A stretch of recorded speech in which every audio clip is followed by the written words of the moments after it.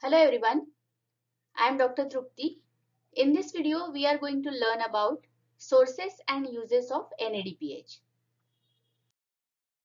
NADH and NADPH, these are two different molecules. So do not get confused between NADH and NADPH. NADH is reduced form of NAD plus and NADPH is reduced form of NADP plus. NAD plus stands for nicotinamide adenine dinucleotide and in the NADP, nicotinamide adenine dinucleotide phosphate is present. So the extra group is phosphate group which is present in both NADP and its reduced form NADPH. This NAD plus and NADP plus these are derived from vitamin that is niacin. Both this NADH and NADPH they have different functions in the body NADH is generated in various catabolic pathways like in glycolysis, TCA cycle, beta oxidation of fatty acids.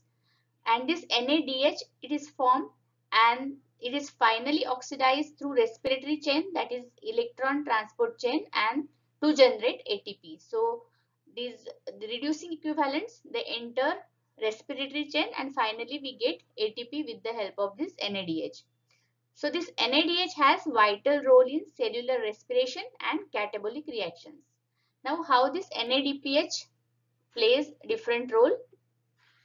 NADPH is a readily available reducing power and it is very important in various biosynthetic processes. It acts as reductant there and this NADPH has role in various anabolic reactions. What are the sources of NADPH? So this NADPH is mainly derived from three important sources and the first one is most important that is it is derived from HMP pathway that is hexose monophosphate pathway which is also called as pentose phosphate pathway.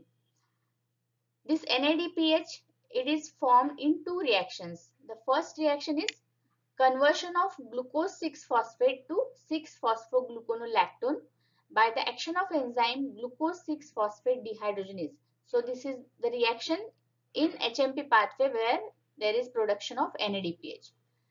The second reaction is conversion of 6-phosphogluconate to ribulose 5-phosphate by the action of enzyme phosphogluconate dehydrogenase. So these two reactions are very important for generation of NADPH and the important significance or important function of HMP pathway is to produce NADPH along with the ribose 5-phosphate. The next source is conversion of malate to pyruvate by the action of enzyme which is called as malic enzyme. And uh, when it is important, it is important during transport of acetyl-CoA from mitochondria to cytosol. We know that acetyl-CoA cannot cross mitochondrial membrane.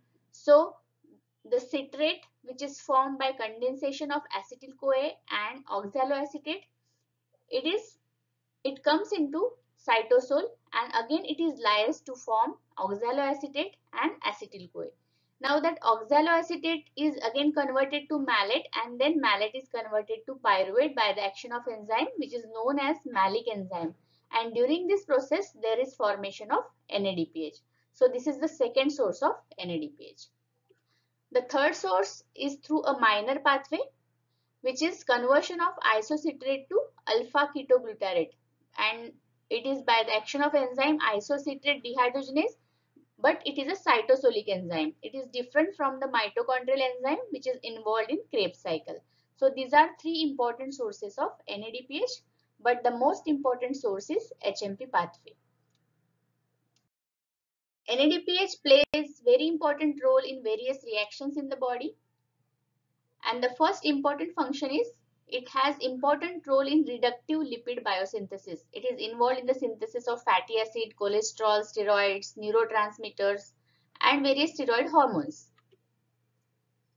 It is important in free radical scavenging. It is important to maintain RBC membrane fragility.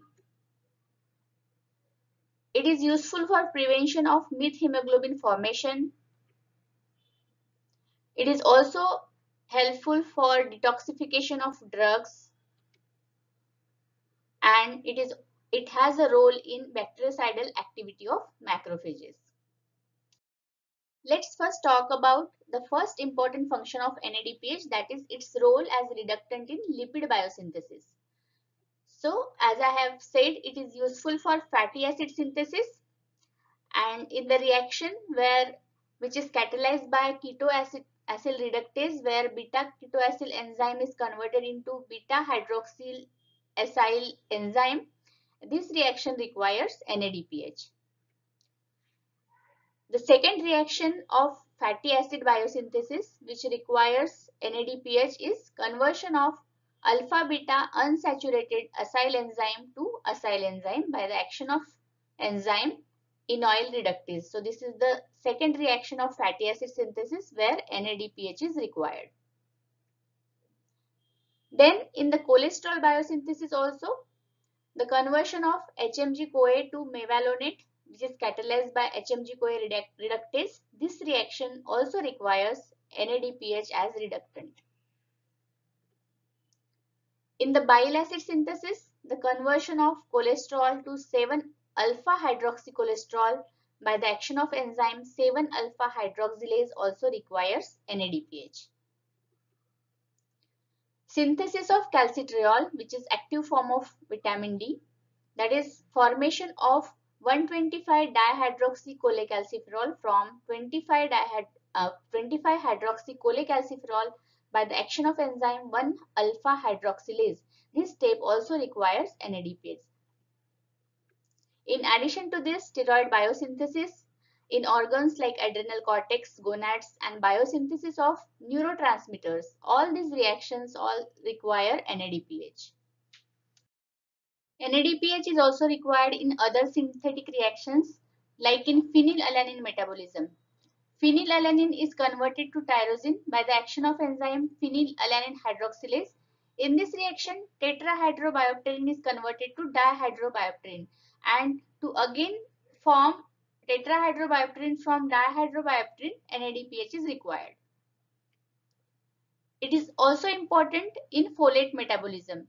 NADPH is required in the conversion of folate to dihydrofolate and conversion of dihydrofolate to tetrahydrofolate and the reactions are catalyzed by folate reductase.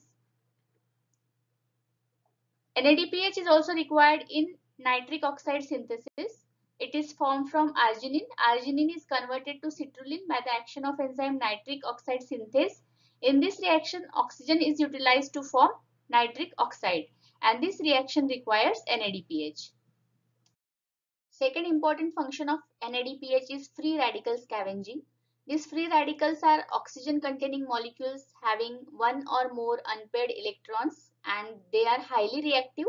They are reactive oxygen species and these free radicals like superoxide uh, ion, hydrogen peroxide, they are continuously produced in the cell as metabolic byproducts and these oxidant they damage DNA, proteins, fatty acids and other molecules leading to cell damage. And these radicals are made harmless by reduction using this NADPH and they are converted into harmless species like water and oxygen. So here this superoxide anion which is reactive oxygen species which is converted into hydrogen peroxide by the action of enzyme superoxide dismutase. In this reaction NADPH is utilized and oxygen is formed. Later on this hydrogen peroxide, it is converted to harmless water. In this process also NADPH is utilized and the enzymes which catalyze this reaction are peroxidase and catalase. So thus NADPH is utilized in the free radical scavenging. The third important function of NADPH is to protect the RBC membrane fragility means it maintains the RBC membrane integrity we know that RBC carries oxygen and it is exposed to high oxygen tension. It is prone to oxidant damage much more than other cells. And the oxidant species cause peroxidation of membrane phospholipids leading to damage. And the resulting RBC membrane becomes very fragile and RBCs easily get hemolyzed. And this is protected with the help of NADPH and reduced glutathione. Now let's see how it occurs. The hydrogen peroxide which is formed in the RBC, it is converted into harmless molecule that is water. In this process, reduced glutathione is utilized by the action of enzyme glutathione peroxidase. It is a selenium containing enzyme and this reduced glutathione is now becomes oxidized one.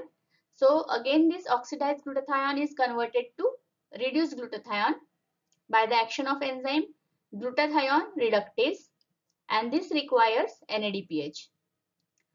So in this process with the help of NADPH and reduced glutathione the hydrogen peroxide which is formed in the RBC are converted into water molecule and thus the fragility is protected and uh, the RBC membrane is prevented from hemolysis and this NADPH is derived from HMP pathway. So it is the important source of NADPH uh, is HMP pathway in RBC.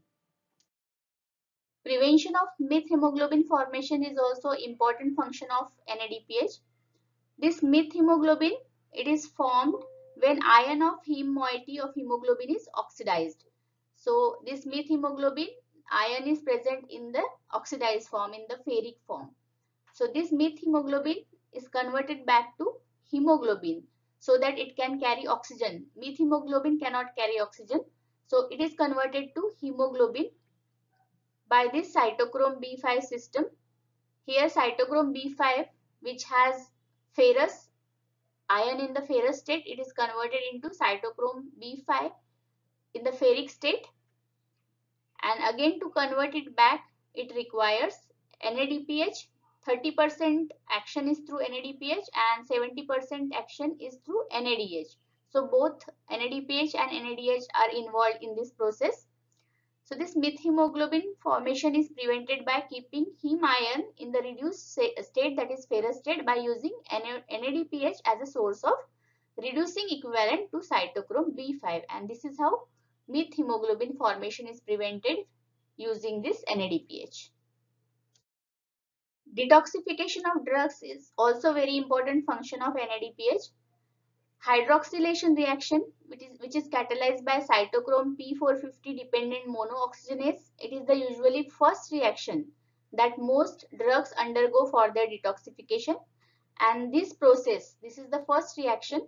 So this process utilizes this NADPH and this uh, this NADPH is a source of reducing equivalent here and then the hydroxylated drugs which are formed uh, by this first reaction they are further metabolized and then excreted. So NADPH has important role in detoxification of drugs.